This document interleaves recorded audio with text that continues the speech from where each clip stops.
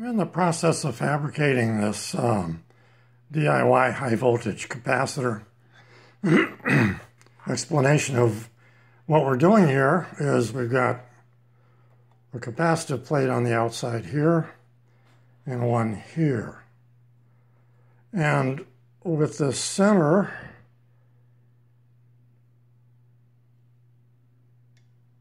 element I'm creating a bridge between these two capacitors. Now, when you have two capacitors in series with each other, you wind up having half of the capacity, about half of the capacity, a little less, and you have twice the working voltage. So that's the advantage of a butterfly type of capacitor. Now, contact resistance is very important in the capacitor when you're using a MLA. You want as little contact resistance as you can get. Here's an example of a butterfly capacitor center section, which is made out of one continuous piece of metal. So there is really no contact resistance involved here. The electrons flow from the outside capacitive element through the glass to the inside through the single sheet and out through the other capacitive plate. So that's the advantage of fabricating like this.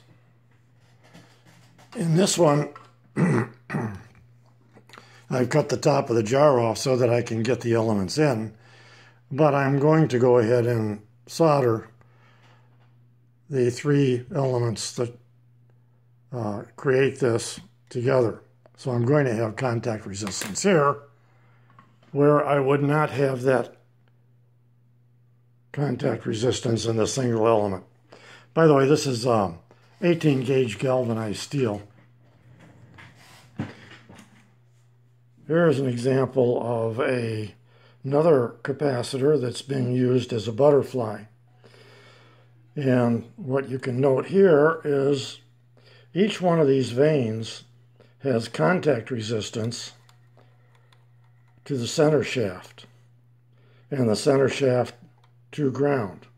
So if you are going to use this not as a butterfly but as a single variable capacitor section, you would have all of that contact resistance to be concerned with.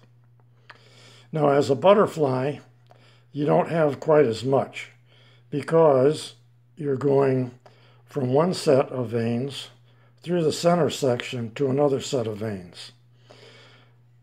Whereas each section is 100 picofarad, the resultant is going to be a little bit less than 50 picofarad.